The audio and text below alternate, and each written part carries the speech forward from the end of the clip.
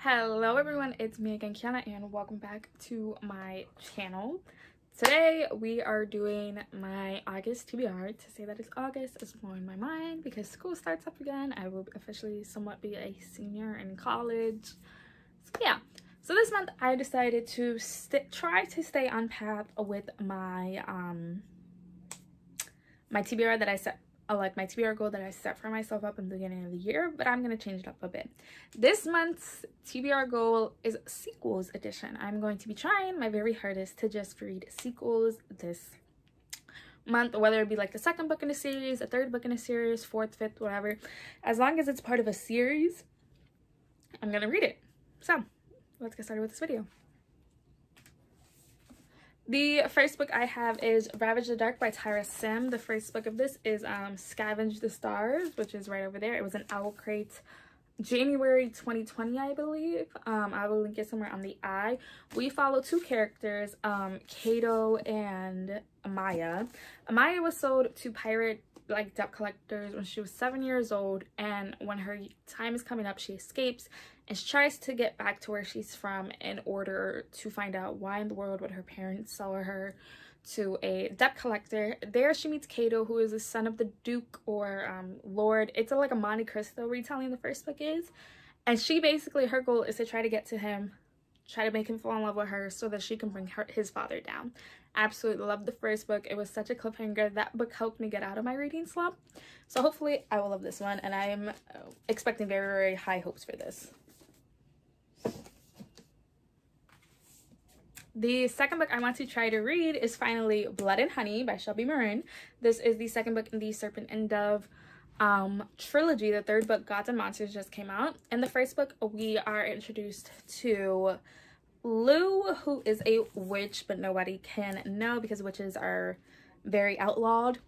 While on the run, she meets Reed, who is like this bishop who hunts down these witches and everything. And with the fight that they get into, Lou makes it public almost that he beat her because she was like a sex worker. So they unfortunately do have to get married. He hates that because he knows something's with her and she's just hiding from her mother who's like this head witch of this coven. Um and her mother was trying to kill her because like she has to be a sacrifice for their coven. Absolutely love the first book. I read it around this time last year, like in July of last year and absolutely loved it. This is my FairyLoot exclusive edition. I will, of course, link that somewhere on the eye. It has black, black glitter sprayed edges. It's adorable and, and then reversible.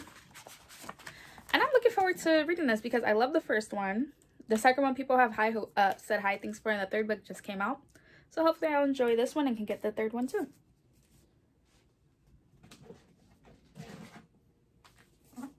The next book I plan on reading is a middle grade, and that is Winterborne Home for Mayhem and Mystery by Ally Carter. In the first book, we follow a girl named April who is this orphan who has the Winterborne crest as her necklace and this just letter from her mother saying I will come back and get you. So she is brought to Winterborne Home in the first book. It's like this orphanage for kids and there she starts to learn the mysteries of the um, Gabriel who is supposed to be the only living Winterborne and why is he missing? Why has nobody found his body? Who would try to murder his parents? April in the first book, of course, spoilers, finds out Gabriel's alive and she, along with the other kids in there, are trying to figure out who is trying to kill him and why they would want to, um, you know, kill him in the first place. Absolutely love the first book. It was a 5 out of 5 for me. I can't wait to read this and it's a middle grade. I am hoping that finishes off strong. Yes. And I'm reading is of course Fairy Tail Volume 6 by Hiro Mashima. I am slowly but surely getting through all of these.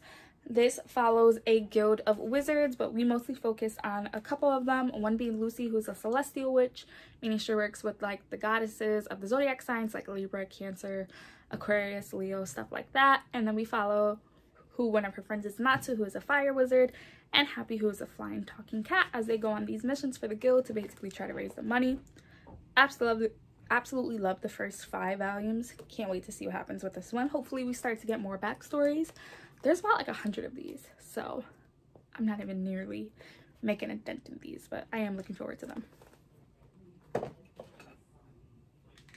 And then the last book I plan on reading is a graphic novel, and that is Moonstruck Volume 3.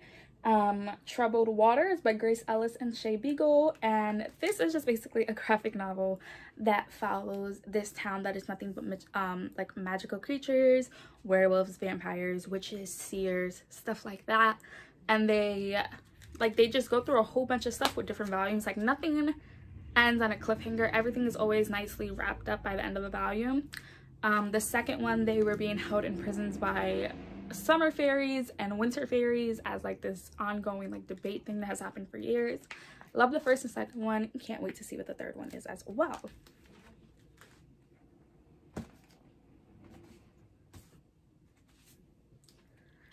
I have two rolled over from my July TBR that I didn't get a chance to because of, you know, vacation. Of course, one being Aru Shah and the City of Gold by Roshani Chokshi. This is the fourth and final book in the um Pandava series. So if I get to this, it also counts for a part of my TBR. Cannot wait. And the other one I just really want to try to get to because it looks interesting, and that is Sweet and Bit uh, Bitter Magic by Adrienne Tooley, which is two witches that try to get together to help save the kingdom and also save a father. So looking forward to this, if I can get to them, which I hope I can. But those are all the books I am trying to read in the month of August. Hopefully I can get to it. I have so far read like eight books in July. I believe in On the Side of Me, two videos you guys should go check out. Try to post twice a week. Sometimes life gets in the way, sometimes work gets in the way. And I'll see you guys hopefully soon with another video. Bye guys.